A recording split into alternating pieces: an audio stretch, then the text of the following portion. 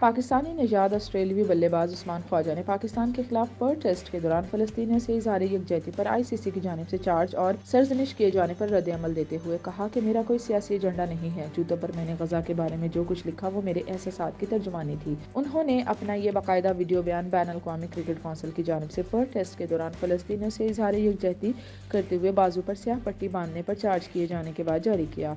उस्मान ख्वाजा का कहना है कि मेरा कोई खुफिया एजेंडा नहीं है, लेकिन ये इंसानी हकूक का मामला है। मैं मज़हब को खेल से अलग रखता हूँ और मैंने हर मुमकिन हद तक मोहताज अंदाज में इजहार यकजहती करने की कोशिश की है, क्योंकि यह मामला मेरे दिल के करीब है। अपने बयान में उस्मान ख्वाजा ने कहा कि मैं हर मुमकिन हद तक सबसे ज़्यादा काबिल एहतराम तरीके से ये सब करने की कोशिश कर रहा हूँ। मैंने अपने जूतों में जो कुछ लिखा मैंने थोड़ी देर के लिए इसके बारे में सोचा कि मैं क्या लिखने जा रहा हूँ। मैंने इस बात को यकीनी बनाया कि मैं आबादी के मुख्तलिफ़ हिस्सों, मजहबी अकायद, बरदरियों को अलग नहीं करना चाहता हूँ। लिहाजा मैंने मज़हब को इससे बाहर रखा है। उन्होंने कहा कि मैं इंसानी मसाइल के बारे में बात कर रहा हूँ। मैं अकवा मुतहदा के इंसानी हकूक से मुतलिक आर्टिकल एक के बारे में बात कर रहा हूँ। लफ्जी तौर पर यही इसका निचोड़ है। मैंने सिर्फ़ अपनी बेटी को अपनी गोद में लेकर इस चीज़ का तस्वुर किया था। ये सब कहते हुए इनकी आवाज़ भर आ गई और उन्होंने कहा कि मैं इसके बारे में बात करते हुए जज्बाती हो जाता हूँ। और यही वजह है कि मैं ये कर रहा हूँ। मेरा कोई पोशीदा एजेंडा नहीं है। हम एक खूबसूरत मुल्क में रहते हैं, मैं खुशकिस्मत हूँ तो मुझे ऑस्ट्रेलिया जाने का मौका मिला। मैं बाहर जा सकता हूँ। मुझे किसी चीज़ के बारे में फ़िक्र करने की ज़रूरत नहीं है। मेरे बच्चे भी ऐसा ही कर सकते हैं।